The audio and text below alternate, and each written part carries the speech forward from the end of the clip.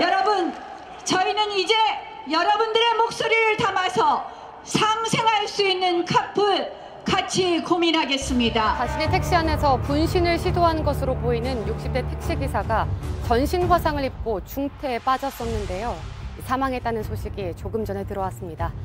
네, 분신에 숨진 택시기사는 유서에서 카풀 서비스의 부당함을 주장했습니다. 정부가 잘 대처를 할 수 있을지에 대해서도 언급을 했습니다. 자영업자 다 죽이고 경제는 다 망가져지고 60대의 추측으로 이루어진 택시 기사들은 또 어디로 가란 말이냐.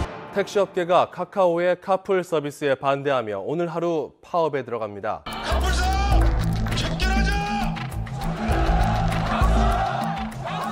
시민과 교통약자들이 손과 발휘해온 서민 택시 생존권을 위협하는 택시 산업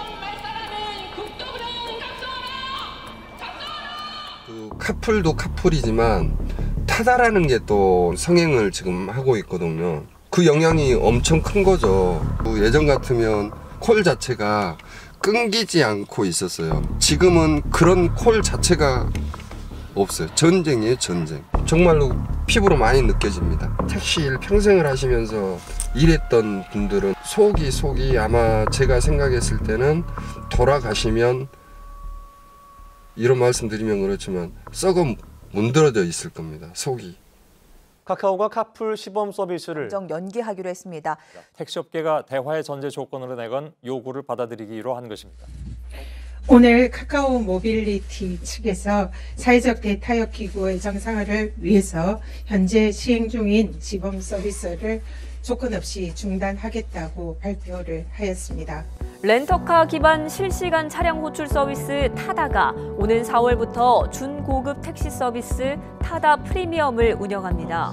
네, 기존 택시랑 다르게 승차감이 되게 좋았던 걸로 기억을 하거든요. 차체가 넓기도 하고 자리가 좀 편안하기도 했고 그 기사님이 계속 이제 정속 주행을 하시더라고요. 제가 타다를 이용하는 동안 다른 승객분들이 타시는 거를 제가 아직까지는 경험을 못했어요. 카풀 서비스라기보다는 택시의 고급 버전 느낌으로는 현재까지 다가온다고 생각을 하거든요. 앞으로 택시 업계가 카풀 업계하고 상생을 하기 위해서는 본인들의 그런 자정적인 노력이 조금 많이 요구되지 않나 택시업계가 택시업계가 카풀에 이어 타다 서비스도 문제 삼으면서 논란이 커지고 있습니다.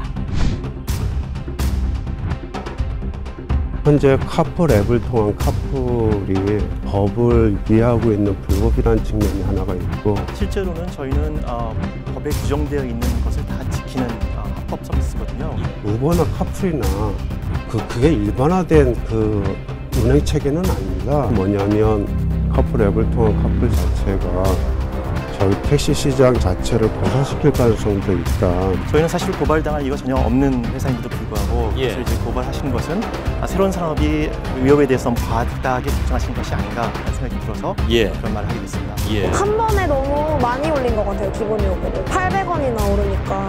타고 싶어서 타는 게 아니라 탈 수밖에 없어요. 왜냐면 밤이라서 차가 끊기면 택시밖에 쓸 수 있는 교통수단이 없으니까.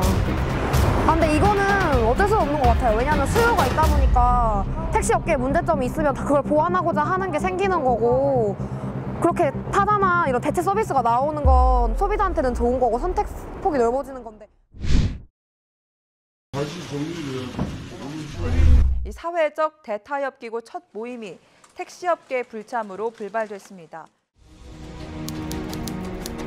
택시 카풀업계 성장을 택시 위한 카풀 사회적 대타협 기구가 기구가 지리한 협상 끝에 오늘 합의안을 내놓았습니다. 규제 혁신형 플랫폼 택시를 올해 상반기 안에 출시하기로 했습니다. 이와 함께 택시 노동자의 처우 개선을 위해 근로시간에 부합하는 월급제를 시행한다고 밝혔습니다. 평일 오전 7시부터 9시, 저녁 6시부터 8시 사이 2시간씩 카풀을 허용하고 주말과 공휴일엔 금지되는 겁니다.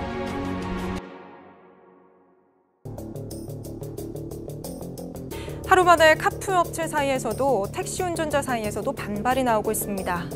시간을 제한했으니까 그러니까 공유 경제를 활성화되지 못하게 막은 결정이죠. 소카의 이재웅 대표가 이번 합의안이 현행법상 카풀 업체에 이미 허용된 영업권에서 별다른 진전을 거두지 못했다고 지적을 했습니다.